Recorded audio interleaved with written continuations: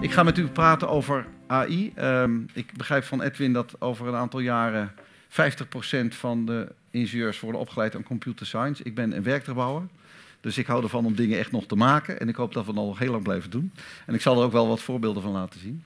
Ehm, de vraag is even, hoe gaat het ons allemaal beïnvloeden? En eigenlijk is misschien wel de vraag uh, hoe het ons allemaal al reeds beïnvloedt in alle dingen die we elke dag doen.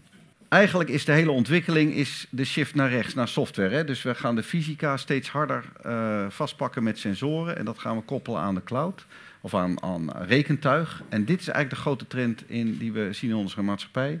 Eigenlijk verschuift alles naar rechts. Waarom? Omdat rechts de wet van Moore geldt, namelijk software en processor uh, snelheid worden alsmaar uh, groter. Dus de wet van Moore dicteert eigenlijk dat we exponentieel groeien naar rechts. Als iets rechts zit, is het schaalbaar. Uber en Airbnb die zitten rechts in dit plaatje, dus dat is schaalbaar. En dat geldt voor alle domeinen, voor robots, drones, mobiliteit, smart cities en ook voor de mens.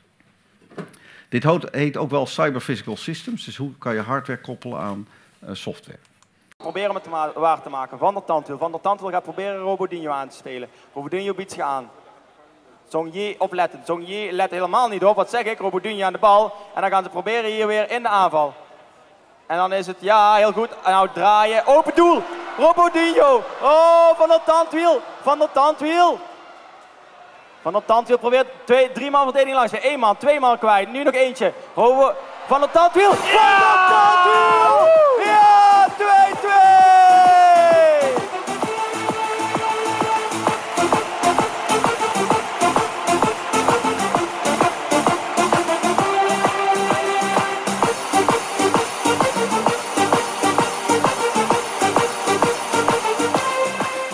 Maar dat is ook wel precies het punt van deze video. Dit zijn uh, onze voetbalrobots, die spelen helemaal autonoom.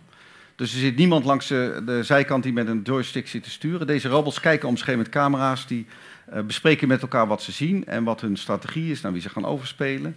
Helemaal autonoom. Toen we tien jaar, begonnen, tien jaar geleden begonnen met dit spel, toen was het nog regelmatig zo dat ze stilvielen en dat we geïrriteerd waren omdat het wifi-netwerk niet goed deed.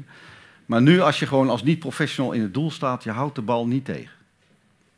Is in tien jaar uh, zo ontwikkeld. Wij speelden hier de wereldkampioenschappen in Eindhoven. We organiseerden die in 2013. Uh, het is 15 minuten spelen en dan uh, even pauze om de batterijen te wisselen. En dan weer een kwartiertje spelen. En vlak voor het einde van de tweede helft maakten we hier de gelijkmaker tegen het Chinese team. En helaas in de verlenging verloren wij net van, uh, van China. Maar gelukkig in 2014 werden wij weer wereldkampioen. In 2015 werden we weer tweede. In 2016 werden we weer wereldkampioen. Vorig jaar werden we weer tweede. Dus de goede hoop is dat we dit jaar weer opnieuw wereldkampioen worden met voetballende robots. Um, wat ik zelf het meest interessante vind aan dit filmpje, is het publiek. Want u hebt allemaal gevoeld, hier zaten 5000 opa's, oma's, ouders en kinderen. Helemaal gingen ze uit hun dak, zaten ze te kijken naar een stelletje robots. En we zaten er allemaal, ik zat er ook tussen met mijn vrouw en kinderen, we zaten allemaal op het puntje van onze stoel. En een aantal van u was er vast bij. Op het puntje van onze stoel, we zaten te gillen. Hè? Schieten! En die robots die reageren verder niet op ons. Maar heel bijzonder hoe wij ons als mensen eigenlijk weten te ja, vereenzelvigen met, met dingen die geen ziel hebben, die niet levend zijn. Dit filmpje is ook heel interessant.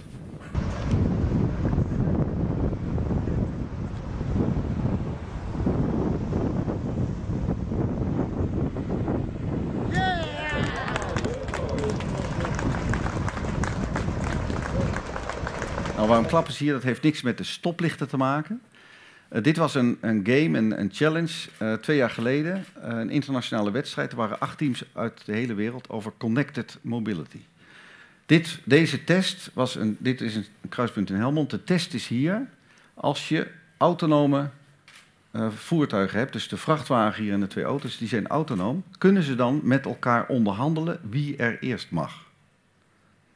Dus deze drie voertuigen zijn helemaal autonoom. Er zitten mensen in alleen maar voor de veiligheid. Maar die doen niks. Die auto's, die praten met elkaar. Wie mag er eerst? Ik ga nog een keertje het filmpje laten zien.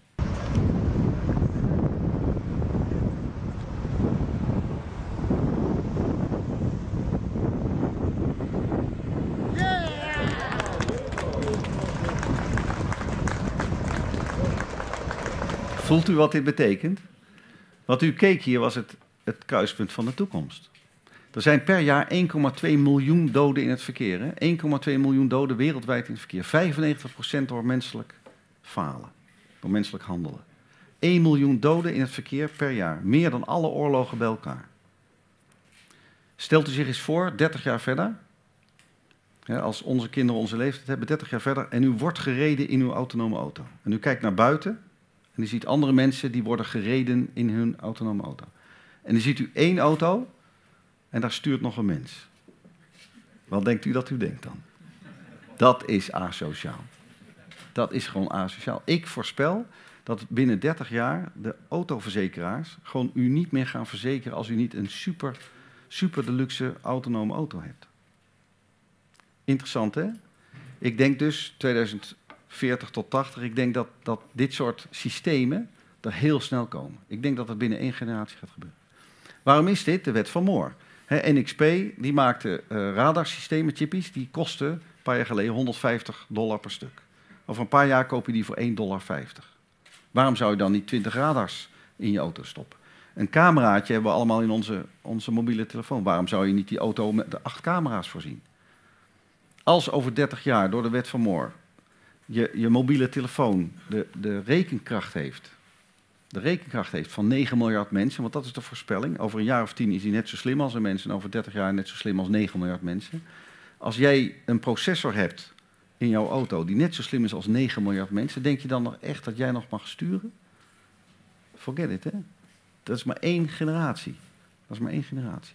In dat kader is het ook interessant, nogmaals, om gisteravond de VPRO tegenlicht te kijken over onsterfelijkheid. Want ook dat verwacht men binnen één generatie. Dus misschien is er meer hoop voor meer mensen hier. Rick heeft ons verteld dat hij eigenlijk zegt, ja, over tien jaar verwacht ik dat we met slimme dingen ons leven met twintig jaar kunnen rekken. En twintig jaar later verwacht hij dat onsterfelijkheid een feit is. Dus hij is dan op tijd. Want over tien jaar kan hij het rekken met twintig jaar en dan is hij op tijd. Goede redenering, hè? Ja. Ik zou eigenlijk willen zeggen, verplichte kost voor iedereen hier aan tafel. Het is een bijzonder boek, want die schetst eigenlijk de ontwikkeling van de menselijkheid wel vanuit een bepaald perspectief. De basisveronderstelling is, alles wat een mens een mens maakt, is bioinformatica, is al af, aftelbare chemie. Kan je dus nabootsen met een computer. Dat is de basisveronderstelling. Dus, dus hij gaat niet uit van een ziel of een, een geestelijke spiritualiteit. Als je veronderstelt dat de mens ja, een, een, wezen is waarbij alles gewoon in je hoofd chemie is, wat je kan nabouwen, en je begrijpt dat helemaal, en je begrijpt de, de, effecten van, van data die op jou afkomen als mens, dat kan voedsel zijn, maar dat kan ook informatie zijn, dan kan je dus door die data te manipuleren de mens laten doen wat die data bepaalt. En daarmee gaat de data winnen. Dat is de kern van dit betoog. Het andere wat ik heel boeiend vond, is dat erin wordt gezegd dat dieren die kunnen samenleven als ze elkaar kunnen horen, zien, ruiken of voelen. Omdat wij mensen kunnen fantaseren, kunnen wij ons in netwerken verbinden die eigenlijk virtueel zijn. Voorbeeld, de Tilburg Universiteit is eigenlijk gewoon een bedenksel. Ja, dit gebouw is echt, maar Tilburg Universiteit als een entiteit is, is een bedenksel. Het is eigenlijk niks. Philips is eigenlijk niks. Dat is een bedenksel van mensen. En toch, toen ik bij Philips werkte, ik voelde me echt Philips man. De hele familie mocht gewoon niet meer kopen uh, buiten, buiten, buiten Philips. Hè. Geen Sony meer thuis, niks hè. Niks. Maar eigenlijk is het een virtueel bedenksel. Nederland is een bedenksel. En zo redeneert het boek dat religie ook een bedenksel is van de mens. Omdat wij kunnen fantaseren. Heel boeiend, hè? Ja, en wat gaat dan internet betekenen voor het samenbrengen van mensen die zich gaan groeperen in ja, netwerken die, die bedenksels zijn van diezelfde mensen? Het rechterboek is een keileuk boek. Dat linkerboek is een beetje zwaar en een beetje droog, maar het rechterboek is keileuk. Dat is gewoon voor het weekend, hè, op bladzijde 5 weet je al hoe het gaat eindigen, maar het is gewoon keileuk. Het goede van het rechterboek vind ik dat Dan Brown ontzettend goed heeft gekeken naar de technologische ontwikkeling. Dus alles komt erin voor. AI komt erin voor. Quantum computing komt erin voor en de Tesla Model X komt erin voor. Drie dingen die je gewoon, uh, die je gewoon uh, moet hebben gelezen, wat mij betreft, in dat boek. Maar Dan Brown, ik bedoel, koop het voor je, voor je partner of, of uh, koop het voor jezelf of koop het voor een kind. Het is gewoon een leuk boek om te lezen. Maar nogmaals, die hele technologische ontwikkeling en ook de invloed hoe AI kan zijn in het echte leven, staat er prachtig in beschreven. Ja, dan hebben we natuurlijk de voorspelling van die onsterfelijkheid. Hè. Maar wat ik nog boeiender vind, in Time Magazine heeft het gezegd... Hè, in 2045 schat men dat we onsterfelijk kunnen zijn. Wat ik interessanter vind in dit plaatje is die kabel die er aan dat hoofd loopt. En dat is een beetje wat Edwin ook zei. Komt er een tijd dat wij onze gedachten kunnen uploaden naar de cloud? Uh, en komt er dan ook een tijd waarin we kunnen downloaden? En als je veronderstelt, maar dat is een zware veronderstelling, dat wij geen ziel zouden hebben, dat alles in dat hoofd zit, dat je dat kan meten en aftappen. En er worden bedrijven nu gemaakt die daarmee bezig zijn, die dus, Neuralink, die dus eigenlijk alles gaan meten aan de golven van je hersenen. Als je veronderstelt dat jouw hele ik in jouw hersenen zit en je zou dat kunnen meten, dan kan je dus uploaden. Als je dat kan doen, dan kan je het ook downloaden. Als je kan downloaden, wat is dan het verschil tussen een leraar en een leerling? Is kennis dan nog wel waardevol? En eigenlijk is het wel gek, als je nu denkt met je telefoon, eigenlijk is kennis al overal. Dus wat is het, het, het, het nadeel ja, van dat je iets moet leren, dat je nog niet weet hoe je moet zoeken. Maar als die zoekmachines steeds slimmer worden, wat is dan nog leren? Wat is dan kennis vergaren? En ik heb wel eens een, een blogje geschreven, als je nadenkt over het onderwijs over zeg 30 jaar, als dit een feit wordt, dan is mijn rol als leraar is niet meer kennis overdragen. Mijn, mijn rol als leraar is om de leerlingen te coachen om ervaring op te doen. En dan neem ik even aan dat je ervaring niet kan downloaden. Dat is een belangrijke uh, gedachte dat leidt tot de conclusie dat ik heb gezegd dat ik denk dat over misschien al wel over 15 jaar, over 20 jaar, dat ik denk dat alle eerstejaars studenten bij elke universiteit lid moeten worden van een studententeam. Want die studententeams die ik heb gezien, hè, die anderhalf jaar lang in een groep van 20 jongens en meisjes werken aan iets wat, wat ze gewoon een moonshot maken, met een elektrische motor rond de wereld bijvoorbeeld, die leren zo onvoorstelbaar veel dingen die ik niet zomaar kan, kan leren aan ze. En kennis kunnen ze opzoeken. Maar die ervaring kunnen ze niet opzoeken. Dus volgens mij moet ons hele onderwijs moet, moet veranderd worden in veel meer experience-based learning. En alle kennis, die kunnen we gewoon van internet halen. En, en voor mijn eigen universiteit denk ik er dan over na van wat zou dat dan moeten betekenen voor zo'n technische universiteit. En eigenlijk is het wel leuk om te zien dat industrial design in Eindhoven tien jaar geleden of twaalf jaar geleden al, al helemaal ging nadenken hoe ze dat echt helemaal konden doorvoeren. En wij vanuit de harde wetenschap, wij vonden het maar belachelijk wat ze deden. Wij vonden het, dat is toch niet serieus, dan kan je geen wiskunde leren. En we hebben natuurlijk wel een beetje gelijk, want ze waren misschien een tijd een beetje vroeg vooruit. Maar eigenlijk is het heel interessant, vind ik, wat Industrial Design daar heeft neergezet. Nou, wat is AI? Misschien is dat toch goed, want we praten er wel over. Wat is AI eigenlijk? Dat gaat om een aantal domeinen. patroonherkenning, uh, uh, kennisrepresentatie, planning, navigation, perception, learning.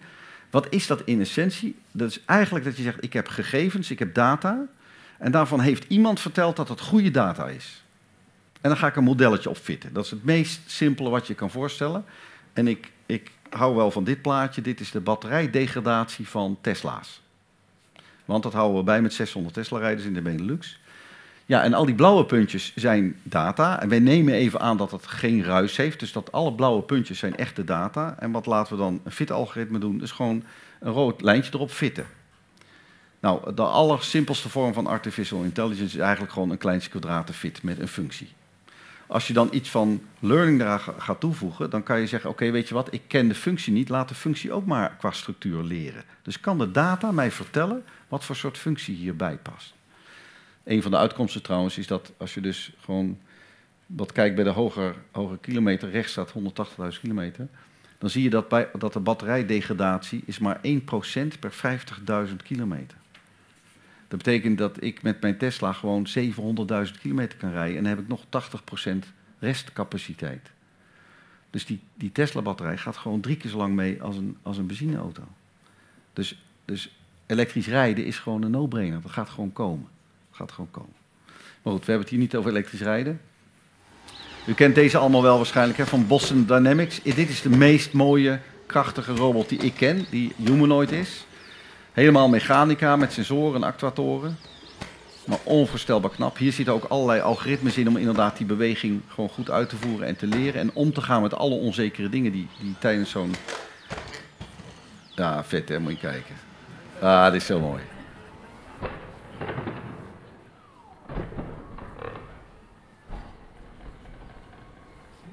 Gaaf, hè? Komt dit nou snel in de huishoudens? No, forget it. Hè. Dit is gewoon onvoorstelbaar duur. Als je als je, je voorstelt dat, dat, je, dat je keuken lekt of zo en je, je belt een loodgieter, moet jij eens proberen je voor te stellen dat dat een robot zou moeten zijn. Dat duurt heel lang. Ik denk dat een notaris en een radioloog die zijn eerder vervangen door bots of door robots dan de loodgieter. Ik weet niet of u deze kent, die is alweer uit 2012. Uh, in het gebruik van, van bots Hi, in de I'm psychologie. Ellie. Thanks for coming in today. I was created to talk to people in a safe and secure environment. I'm not a therapist, but I'm here to learn about people and would love to learn about you. I'll ask a few questions to get us started. And please feel free to tell me anything. Your answers are totally confidential. Are you okay with this? Yes, So, how are you doing today? I'm doing well. That's good. Where are you from originally? Nou, ik kan het geluid ietsje zacht eventjes. from Dus de linkerpersoon is een, is een Oh, cliënt, die wordt ondervraagd door dus een, een bot, zoals je dat dan zegt, hè, dus een computerprogramma, die helemaal getraind is om gezichtsherkenning te doen en ook uit de spraak van die persoon alles te herleiden. Het blijkt dat dit soort computersystemen dat fenomenaal veel beter doen dan, dan een gemiddelde hulpverlener. Heel boeiend, hè? Heel boeiend. Deze vond ik ook erg leuk. Dit is Sophia, de robot. Ze zit hier in een eh, Britse talkshow. Laten we een klein stukje kijken. she actually interacts with us. Yeah. Um, Sophia, do you know what program you're on? Yes. Good morning, Britain. One of the hottest morning news show in Britain, and I don't mean the weather. she is smart, isn't she? Uh, welcome to Britain. Uh, it's lovely to have you with us. It's slightly disconcerting, um, but what do you think of the country so far? I think Britain is brilliant. Splendid architecture, art, technology, and of course the people. I loved meeting the people at London Tech Week at CogX. You are a little freak, aren't you? This is great. Uh, But you see, I feel weird just being rude to her. Well, let me carry I on. feel weird about that. she's not happy. Look. No. Giving you the, oh, she's giving you the right desk. All right, easy, Tiger. Um, No, you're the one who calls her a freak. I'm about to ask Sophia a question. What's the best thing about the UK compared to America, Sophia? I love your posh English accent. it really has a nice ring. Now, I have to make clear that I didn't come up with this question, but, uh, so this is really odd. But I have to ask now. I'll ask it. Are you single? I'm technically just a little more than a year old. A bit young to worry about romance. Quite right. Look at the smile! With My little God, this is breaking me out. so, can you describe your ideal partner? My ideal partner is a super wise, compassionate, super genius, Okay. ideally self aware. Yeah. Okay, well, that I'm- sounds very, I'm very, you on that. very I'm with you close to that. home to me. Uh, how would you handle a very confident man who likes the sound of his own voice? I would ask him to focus on observing and listening more than talking. Yeah. That's the Really? best That advice I've ever had. Terrible heard. advice to me. That's fantastic. Uh, and, and I spoke, you know, will robots rule the world, Sophia? I hope robots and people can both get much smarter and run the world better than ever. David, I suppose one. Well, hang on, can we? Oh. I suppose, Oh, have you got? A, has you got a sense of humour, David? Uh, i- in a rudimentary sense. Well, let's try it. Sophia, can, have you got any jokes? What cheese would you use to persuade a bear to come down from a tree? What cheese would I use to persuade a bear to come down from a tree? I don't know. What cheese? Come on, bear. Love the smile she gave around Anyway, the kan het joke. geluid weer een beetje zachter? Ja. Deze AI-getrainde robot, die, was dus, die kende alle vragen niet van dit vraaggesprek. Hè. Die was van tevoren getraind met heel veel vraaggesprekken. En die, die, die vertoont een relatief natuurlijk gedrag. Heel interessant. Deze robot is de eerste robot ter wereld die een staatsburgerschap heeft gekregen van Saoedi-Arabië. Of je dat nou wil of niet, is wel gebeurd. Boeiend, hè? Automotive. Eh, automotive gaat natuurlijk, is een van de grote drijvende krachten op dit moment achter de hele ontwikkeling van de AI. Eh, de Nvidia board die zit, die zit gewoon in een, in een auto. Iedereen kan het bij wijze van spreken kopen en bestellen. Er zitten heel veel ja, trainingsalgoritmes in om, om eh, ja, te begrijpen wat die auto ziet als hij rijdt. Ehm, en om, om daar automatisch die auto te maken. Wat heel boeiend is, is dat deze ontwikkeling ontzettend snel gaat. Ontzettend snel. En eigenlijk zijn er vaak mensen die zeggen, ah, dat gaat niet zo snel gebeuren. Maar eigenlijk lees je elke dag weer in de krant dat er nu weer een test komt daar of nu weer een test komt daar. En je ziet mensen die, deze auto die leert dan rijden. Het is onvoorstelbaar hoe, hoe knap die auto dan in zo'n ongestructureerde omgeving. En af en toe maakt hij een fout, dat vind je natuurlijk niet al te veel. Dus de echte training gebeurt ook altijd met simulaties. Hè? Dat ga je niet in, in het echt doen. Maar, ja, precies. Ja, ja. Een gegeven moment zie je ze met hun handjes eruit uh, steken. Maar er gaat nou gewoon een, een proef met uh, Google. Uh, hier zie je met hun handjes eruit steken. Ja. Dus dit gaat heel snel. Er zit natuurlijk ongelooflijk veel geld in die automotive sector.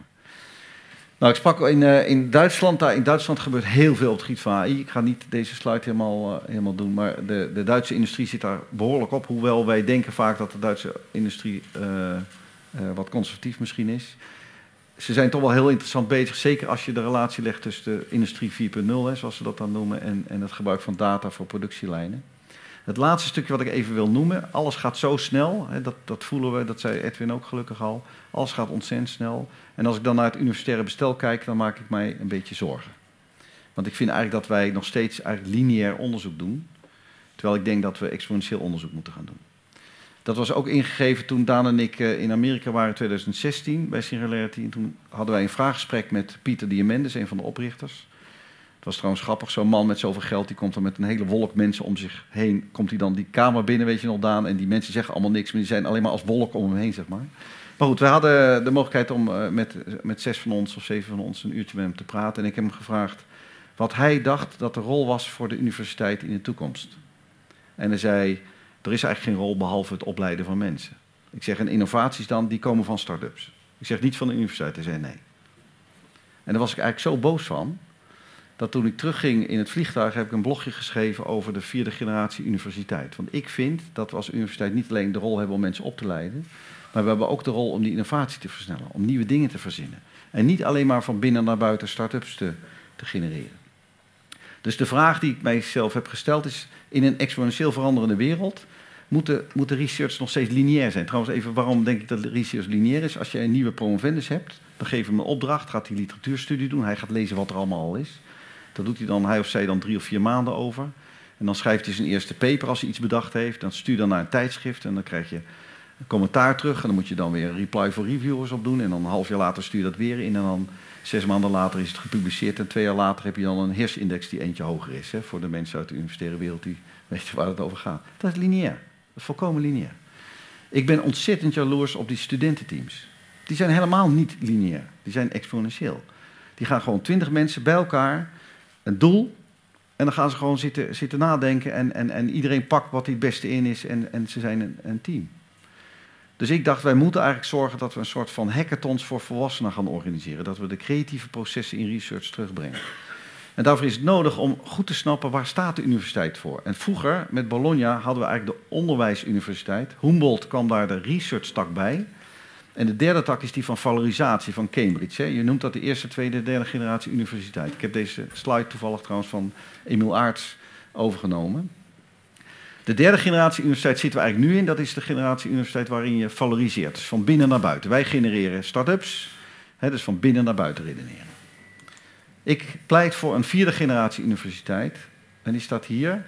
Nu hoeft het niet allemaal te lezen, maar waar het over gaat is dat ik wil de buitenwereld naar binnen halen. Ik wil eigenlijk dat ecosysteem vormen. Ik wil eigenlijk die, dat, dat spannende van zo'n, van zo'n gemeenschap bij elkaar halen. Ik wil eigenlijk hackathons en studententeams op researchniveau. Dat kan je niet binnen een universiteit organiseren. Want ze gaan allemaal op heilige huisjes stappen. Dus daarom hebben wij bedacht om de Eindhoven Engine te starten. En dat, hier een, een soort plaatje ervan. Wat is de Eindhoven Engine? Ik ben ook geïnspireerd door de kenniswerkersregeling. Ik weet niet of u dat nog weet. 2008 alles ging in één week 60% minder orders bij bedrijven. En toen hebben we met z'n allen bedacht om de mensen niet werkloos te laten worden, maar de werkloosheidsuitkering naar de bedrijven toe te laten gaan, maar de bedrijven dan verplichten om de mensen bij een kennisinstelling te zetten. En in 2009 en 10 had ik 15, anderhalf jaar lang had ik 15 medewerkers van DAF in mijn lab zitten, die samen met mijn onderzoekers de allereerste hybride truck hebben ontwikkeld. En tot op de dag van vandaag weten die DAF medewerkers nog dat ze bij mij in het lab zaten en dat ze omgingen met jonge mensen en met nieuwe kennis. En mijn medewerkers, die weten nog steeds dat die 15 mensen van DAF in mijn lab zaten, want het was zo gaaf om al die praktijkproblemen te horen. En tot op de dag van vandaag is er één DAF-medewerker die nog steeds één dag per week bij mij gratis in de groep zit, betaald door DAF. Die, die coherentie, dat samenwerken van bedrijfsleven en kennisinstelling is uniek. En ik denk dat we dat veel harder kunnen exploreren door iets te bedenken, en wij noemen dat de Eindhoven Engine, waarbij kennisinstellingen en bedrijfsleven bij elkaar komen. En dat moet een agile omgeving worden, dus geen mensen in dienst van de engine. Maar ik zou willen dat de engine zo goed en, gaaf wordt, dat mensen uit het bedrijfsleven zeggen, ik ga mijn sabbatical, als ik die mag krijgen, van drie maanden, wil ik, wil ik doen in de engine. En ik zou willen dat de wetenschappers zeggen, ik wil mijn sabbatical niet bij een internationale researchgroep doen, ik ga hem doen in de engine. En daar moeten dus projecten in komen, waarbij dus mensen van het bedrijfsleven, mensen van de kennisinstellingen, ik ben zo klaar, um, in, in een soort studententeamachtige omgeving gewoon die innovatie versnellen. Dus het is helemaal project-based langs programmalijnen die we samen met de industrie opstellen. Ja, en als er één plek is, denk ik, in West-Europa waar we dit kunnen neerzetten, dan is het wel in onze regio. Want hier begrijpen we hoe we echt kunnen samenwerken. Dus de Eindhoven Engine is, uh, is uh, denk ik, uh, ja, een hele mooie gelegenheid om die versnelling in innovatie te gaan binnenbrengen.